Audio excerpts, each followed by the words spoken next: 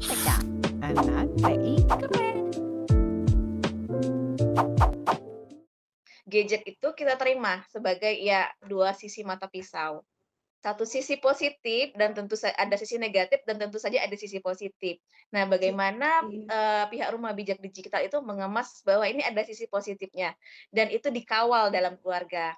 Jadi anak-anak bisa melihat Mmm. game sebagai sesuatu hiburan dan juga bisa mendekatkan antar keluarga. Jadi dalam game-nya, eee, The Taliban ini ada yang namanya Iya. anak-anak mainnya bersama ayah dan bunda, anak-anak dikasih Oh, pembatasan waktu. iya.